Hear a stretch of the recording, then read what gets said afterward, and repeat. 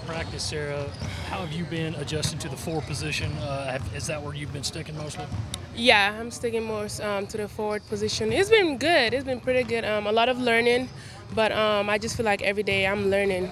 Um, I'm learning quicker, actually. Um, the coaches are doing a great job of um, breaking things down for me, and just watching film after practice, that helped me a lot. How long did it take before Dawn yelled at you the first time?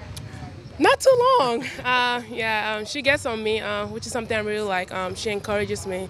Um, she tried to push me um, to run the floor really hard. Um, that's something she really emphasizes on. Where do you think you can make the biggest impact, scoring or rebounding?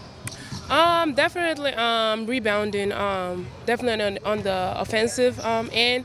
Um, that keeps me going. That's where I drive my momentum from. So, um, just getting those offensive rebounds and going up strong.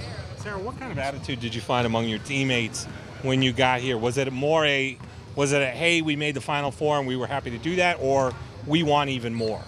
More of, um, we don't care about the Final Four. We should have been in the finals, um, competing for a national championship. That's the attitude, and um, that's the attitude we they bring to practice every day. And, and you've got to be pretty excited about that attitude because that's the direction you obviously want to go into. Yeah, it? definitely. Um, I'm excited about that attitude. You know, we have uh, we have a common goal. Um, everyone knows that we need to work hard to get there, and I'm just I'm happy every single one of us we're on the same page. Yeah, it would seem easy for players, especially with some sophomores, and, and to be like, hey, you know, we've we've already succeeded, but that's not the attitude with this. No, group. that's not the attitude, especially um, knowing that we have newcomers um, on the team. Um, they're trying to set an example at all times um, to let them know that um, we're trying to um, go to the end, go to the finals. Um, we just want everyone to be able to experience that.